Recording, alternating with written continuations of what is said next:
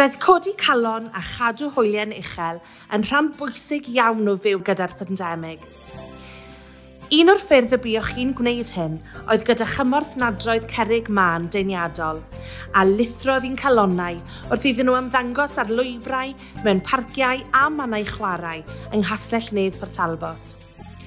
Diolch yn fawr iawn i bawb a ychwanegodd carreg fach wedi heddurno'n llachar i ymestyn y nadroedd wrth iddyn nhw ddod ar eu traws yn y fwrdeistref sirol, gan roi gwen ar lu o wynebau pan oedd gwir angen hynny ymddangosodd yn adroedd pob un a'i henwau ei hunain, ym Mharc Fifian, Traeth Aberafan, Cwm Afan, Ffrwd Wyllt, Blaen Dilais a Thu Hwnt, a biwch chi'n ddigon caredig i anfon lluniau atom er mwyn i ni allu rhannu'r llawenydd.